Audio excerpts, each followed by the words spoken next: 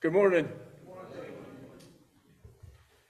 For those that are visiting, and for those that are regular, you know that I'm not the regular speaker.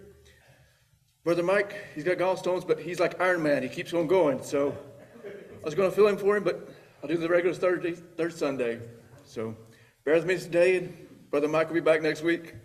He seems to be, um, he's got amazing pain tolerance. so anyway, thank you, Brother Mike, for all that you do. All right, hopefully. This is cut over. Can you hear me now? All right. So, I like to start off with experiments. Can anybody tell me what you see right here?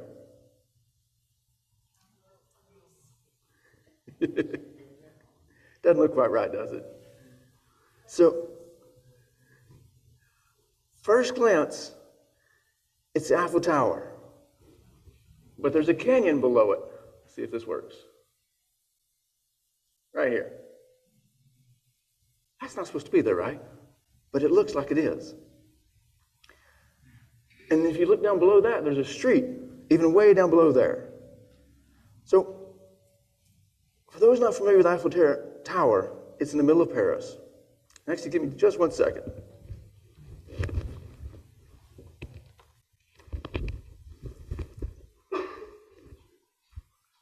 There's that better? All right, cut out the echo just a little bit. We got an omnidirectional that picks up the singing. It kind of gives a little bit of feedback when we're talking. So, this is the Eiffel Tower in Paris. Now, this is illusion.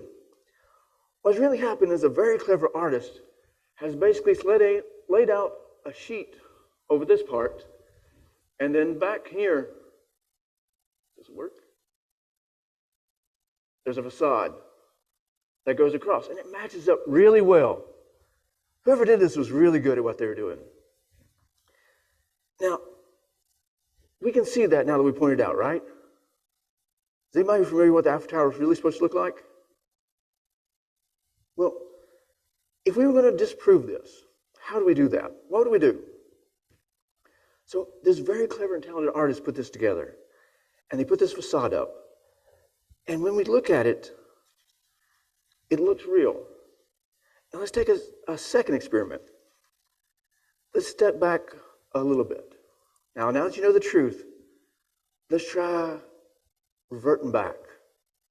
Can you put yourself in the mind of somebody who didn't know the truth? Who knew that that was real? They would swear to it. It's like, that's the tower. Oh, that's not it. That's the Tower of Eiffel. That's the part of it. That's it. Can we imagine that? It's hard, right? And you're probably thinking, where is this guy going with this? But bear with me. It'll hopefully it'll make clear. So once you know the truth, it's hard to unsee it, right? It's hard to not know what's going on. And if you want to disprove it, you can go and say, okay, this is France. There's the mountains. And there's Paris. Not in the mountains, right? We can point it out. It's facts. We know that. We can take a topographical map and see that. But, and we even say this is what it actually is supposed to look like, right? It's really flat. It's in the middle of the uh, town. It's a tower. It doesn't actually look like this. But if somebody really believes that, how do you deal with that person? What do you do? So, today, I want to talk about delusion. Somebody thinks up is down, down is up. How do you deal with somebody like that? And in the Bible, there's a really good story about this. So if you got your Bibles, turn to Isaiah 44. We're going to spend pretty much the whole time in Isaiah 44. Let's read about a group who are delusional, who, for life of them, they thought what they had was something special, but it was just not what it's supposed to be. So let's turn to Isaiah. Let's start with verse 1. So Isaiah 44, 1 through 5. Isaiah 44, starting at verse 1. And this is God talking to them, talking to the, the captives of Babylon. Yet hear now, O Jacob, my servant, and Israel, who I am chosen. Thus says the Lord who made you and formed you from the womb. Who will help you? Fear not, O Jacob, my servant, and you, Jeshurun, whom I have chosen. For I will pour water on him who is thirsty, and floods on the dry ground. I will pour my spirit on your descendants, and my blessing on your offspring. They will spring up, spring up among the grass like willows by the watercourses. One will say, I am the Lord's. Another will call himself by the name of Jacob. Another will write with his hand, the Lord's, and name himself by the name of Israel. This is how Isaiah 44 starts out. And at this point, things are really good. God is speaking to Israel, and you can see the caring nature of the relationship at this point, right? God forms us in the womb. He helps us. Our quirks, our differences, our, our things that make us uniquely us, God can make into something incredible. And we may not see it at first, we may not even understand it at first, but God does. He's even using a pet name here, Jeshurun. That means upright one. It's kind of like saying to a dog, good boy, yeah. it's, it's, more, it's more tender, but to just give you a sense, it's basically, it's a, an affectionate name. God talks of pouring out his spirit and his blessings on the descendants. And these descendants, they respond by claiming their heritage. They want to be God's people, associated with God. And this is nice.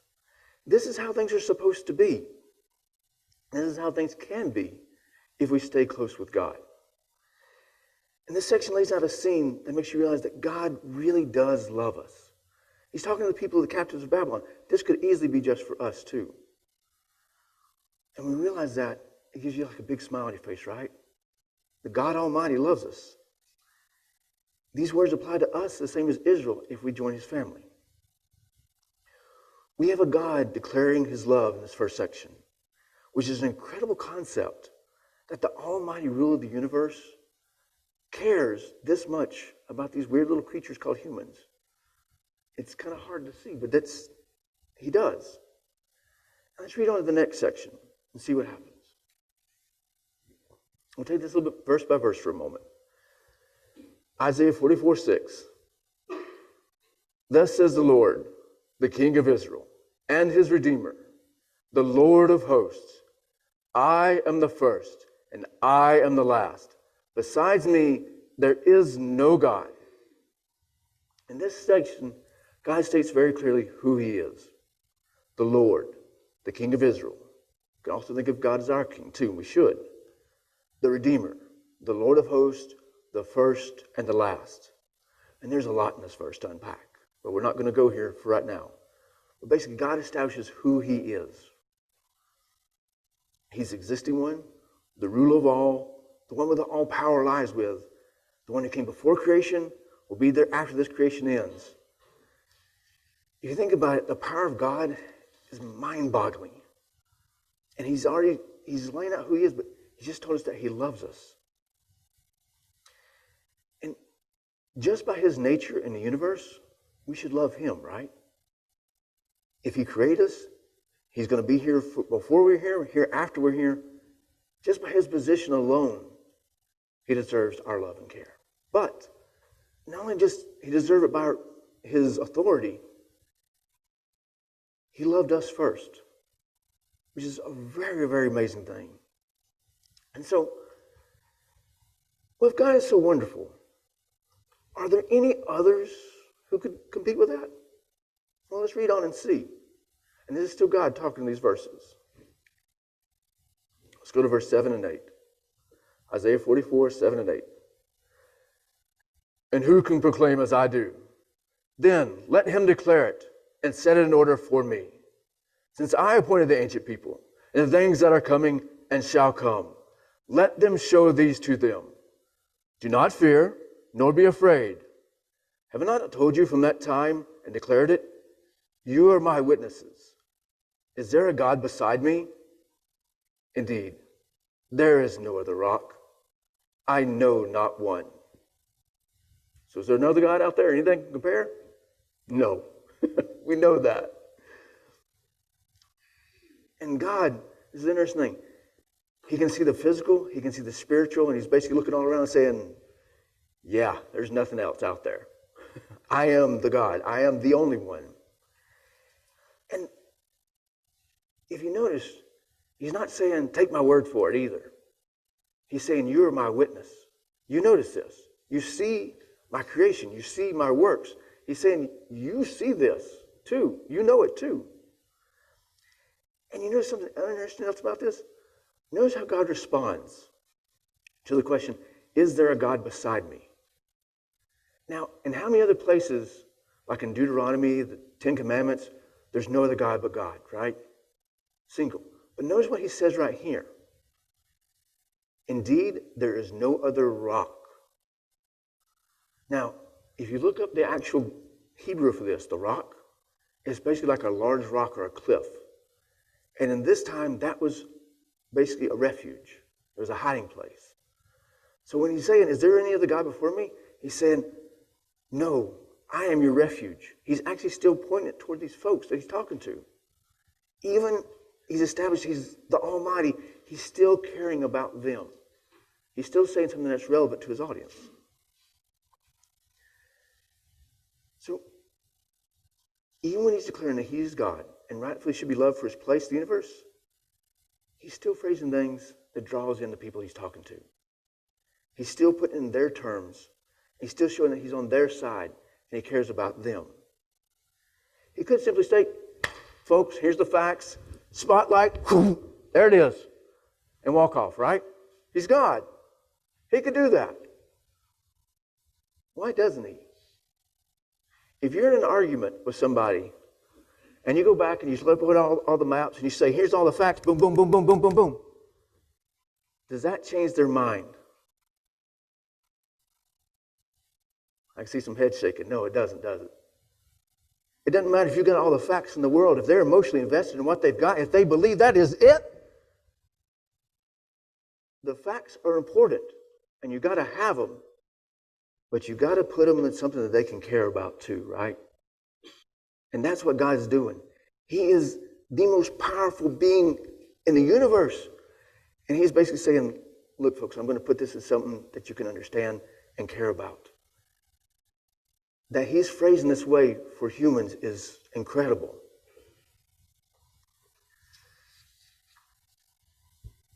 He's showing incredible strength and strength in his approach. Let's go on to the next section and see what the delusional folks are doing. Where they got into. So keep this in mind of basically that he loves us, he's established who he is, and he's on our side. He's starting with love, and he's going forward. So in this next section, notice a little bit how it's not personalized. It's not going, you did this. He's given a scene. He's going to give something basically that they can look at, detached from, depersonalized. And it's this is a little bit more tougher love section for the folks, but it's still love for the audience. And the folks that he's been talking to, the, the captives in Babylon, had done this and much, much worse. So this is kind of like a, uh, a tame version of what they had done. Isaiah 44, 9 to 11. And this will kind of go into the situation here in a moment. But this is him basically laying out some facts. But he, look how he does this. Those who make an image, all of them are useless and their precious things shall not profit them. They are their own witnesses. They neither see nor know that they may be ashamed. Who would form a god or mold an image? That profits him nothing. Surely all his companions would be ashamed, and the workmen.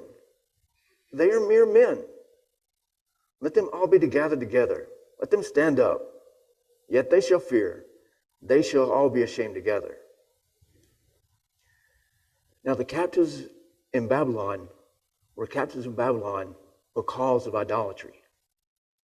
This is what put them in that place. And so he's presenting it in a way that basically lets them detach a little bit and look at it. He's not saying, you did this, you did this. He's like, hey, what about this? If a guy just forms something and calls to God, is that right? So, and those captives, they were delusional.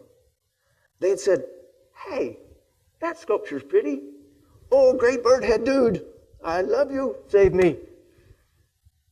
And it's that's silly when we look at it, right? But that's what they had done. That's what had got them into the situation. But God's putting it in a way it's like, okay, what about this? These folks.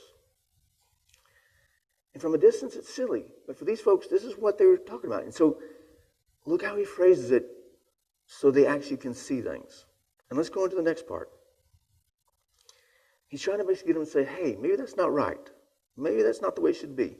And notice how the language, the sentences, they're short, they're direct, they're simple, right? We're not talking about like a long treatise here. This isn't Paul talking to philosophers of the age and talking, you know, deep metaphysical things. This is just straightforward. Here it is, folks. And that's important. If you're talking to somebody who's really invested in something, do you want to get into some deep, complicated argument? And it's not going to work very well, is it? They will tune you out and walk away. The folks in Babylon are captives. They were captives. Their homeland, their homes, all gone. Things were not good for them in captivity. They came back from captivity with names like my holes, fleas.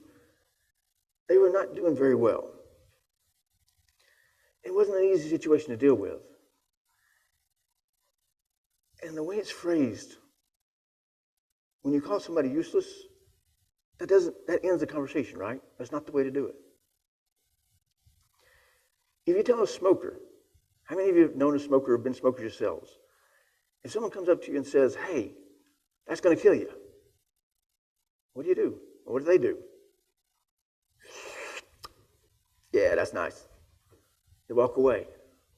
The guy on the street corner going, You guys are going to hell, y'all sinners! How many converts do they get? Zero, right? That's not the way to actually approach anybody. You might get some rotten tomatoes thrown at you, but you're not going to win anybody's soul. Taking it back a little bit, depersonalizing it, talking to somebody about something they're doing from a distance, it gives them a chance to be able to talk without getting defensive, without having to defend their ego, without having to basically get them on where they're basically spending more time to protect themselves and actually listening and engaging. And it's really cool how God's doing this. Now,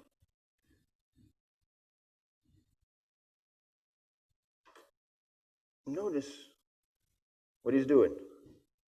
He's pulling back the curtain and going, hey, that's dangerous. And if you see something like a volcano from a distance, you know Step back from that, right? If you're a crazy person, you're thinking, oh, that's awesome. I'm going to go a look at that. That's cool. Whee! But we know to look at that from a distance. God is gently pulling back that curtain to let them see what the other folks already know. And so he's firm and direct, but he's not insulting to them. That's really dark. Let's go back to um, Isaiah. Let's go on to chapter 12, or verse 12. Isaiah 44, verse 12. And for those who just joined us, most of the scripture will be coming from Isaiah 44, if you want to turn there with us. And glad to have you here with us. Isaiah 44, 12. The blacksmith with the tongs works in one in the coals, fastens it with hammers, and works it with strength of his arms. Even so, he is hungry, and his strength fails.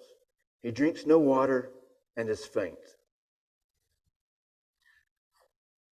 Now, in this example, if someone's hungry and they're tired and their strength fails, what can we tell about that person? They're human, right? How many of us have been hungry? How many of us are hungry right now? I am. How many of us get tired? And please don't fall asleep while we're doing this. We all we can all sense that, right? These are universal emotions. What God's doing is basically, He's given an example that every single one of us can relate to, and every one of them could relate to.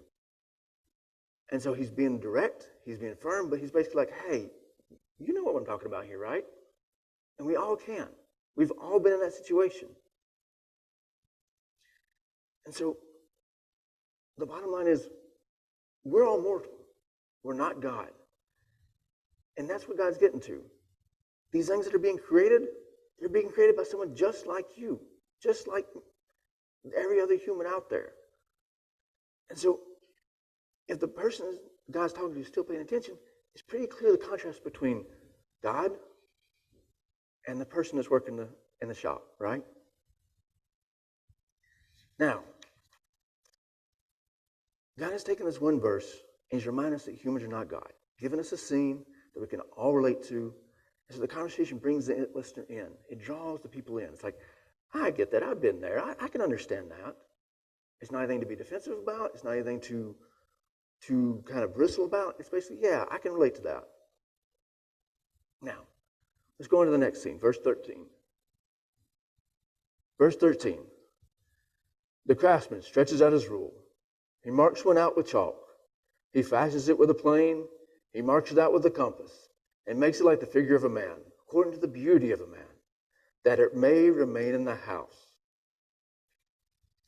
Now, this scene is subtle. It sets things up for the next scenes even more than what we've been at. In the first scene, you got clear that the maker is human. They're mortal, they're fallible, they're hungry, they're tired. All relate to that needing food and rest. In this scene, normally a craftsman is a good thing, right? You see somebody working in a shop, that's commendable. They're working with skill, they're working with their knowledge, they're building something with beauty. That's usually a good thing. What goes wrong? In this scene, there's a twist at the very end. Now, notice at the very end of the verse, so that it may remain in the house. They're taking something that is normally good and commendable and making it kind of dark and twisted, right? Why is that piece of wood in that house? What's going on with that?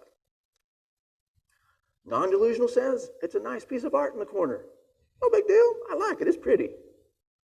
Delusional says, oh, great bird in the corner. Woo! Save me. Right? It's a big difference between just the wood bird and the idol bird, right? But those folks, they did not see that. And we'll get to why they didn't see that. But let's keep going. Let's go into verse 14 through 17. And this is the third scene. And this scene basically kind of dives deep into it. We, we, we've kind of stepped up to the delusion. Now let's just go straight into it. Isaiah 44, 17, 14 through 17. He cuts down cedars for himself and takes a cypress and the oak. He secures it for himself among the trees of the forest. He plants a pine, and the rain nourishes it. Then it shall be for a man to burn, for he will take some of it and warm himself. Yes, he kindles it and bakes bread. Indeed, he makes a god and worships it. He makes it a carved image and falls down to it. He burns half of it in a fire. With this half he eats meat, he roasts a roast, and is satisfied. He even warms himself and says, Ah, I am warm. I have seen the fire. And the rest of it he makes into a god, his carved image. He falls down before it and worships it. Prays to it, says, Deliver me, for you are my God. In this scene, we start with something innocent and move quickly to something that's very, very wrong, right? Verse 14 starts out with God's creation. It's beautiful. Trees. You got an oak, a cypress, a, a pine, beautiful trees, nice things to think about. God's creation. On to something else innocent. Use that wood from those trees. He's making a fire. He's grilling some food. He's staying warm. And then from that innocence in nature and using the resources for fuel, things quickly go awry, don't they? Those resources from nature that God provides us, they get used and a craft is made. There's something wrong with that craft. And it's not that it is the craft, but that craft gets elevated into something that it is not. And notice in verse 16.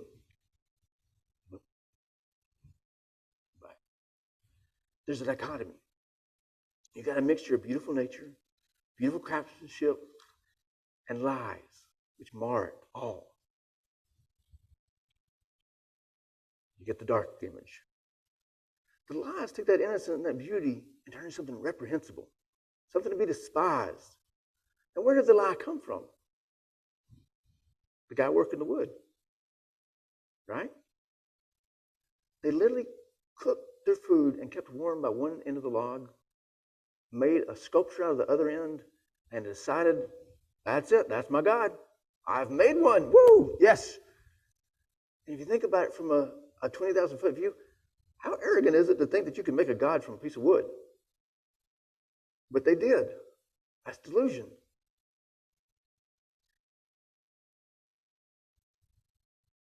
And why did they do that? Why did he do that? So, in that scene, we'll go back to this one. Why would somebody build a fire, cook some food?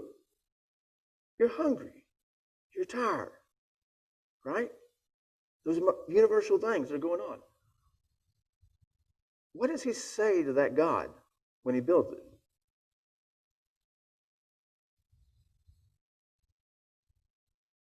Deliver me. He's scared. He's gone from something innocent to something vile because he was scared. He made something for himself to basically bow down to to save him because he was scared.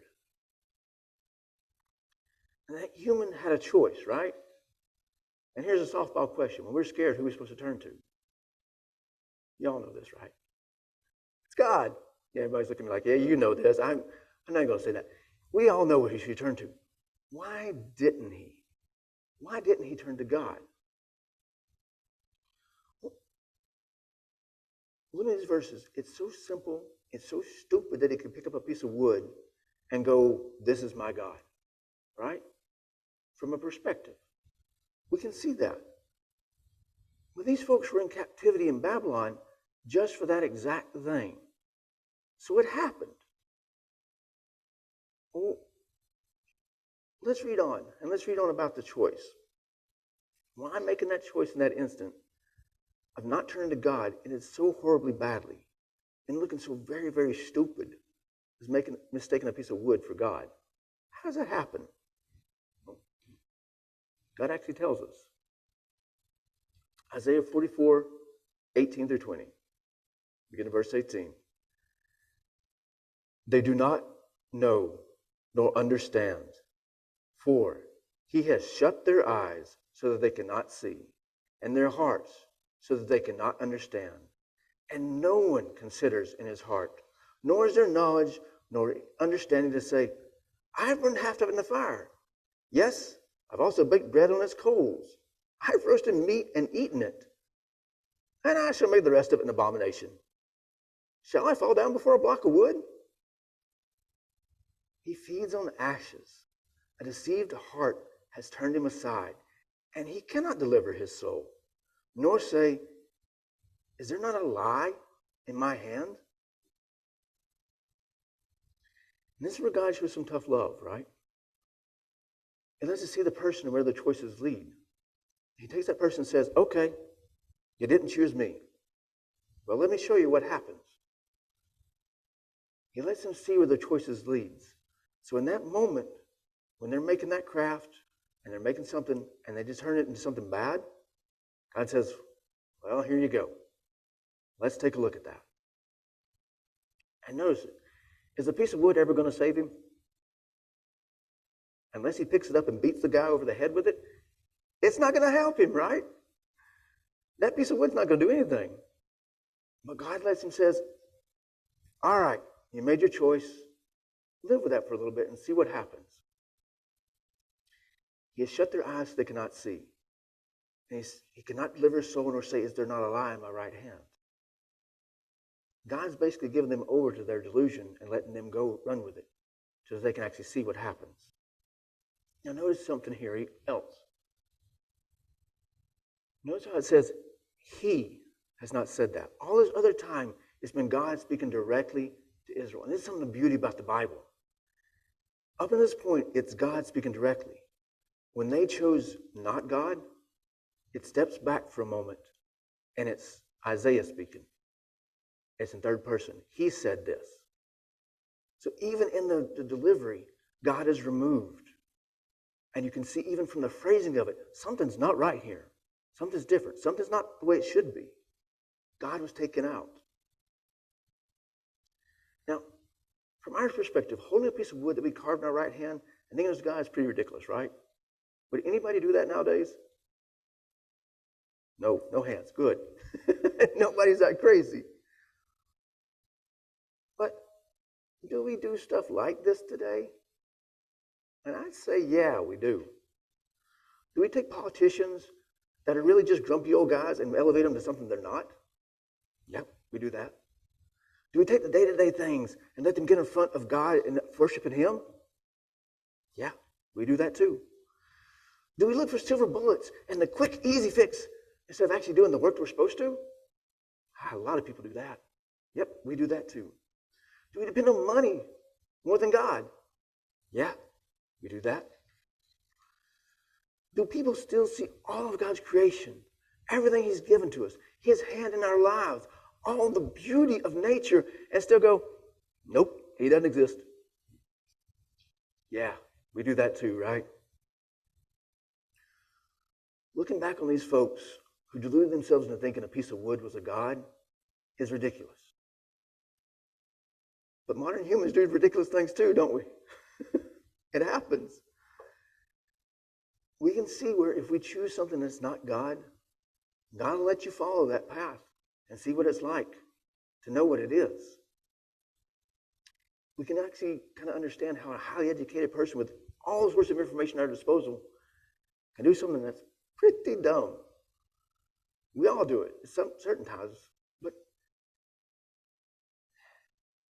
it's crazy to pick that piece of wood, that other thing, over God, no matter what it is.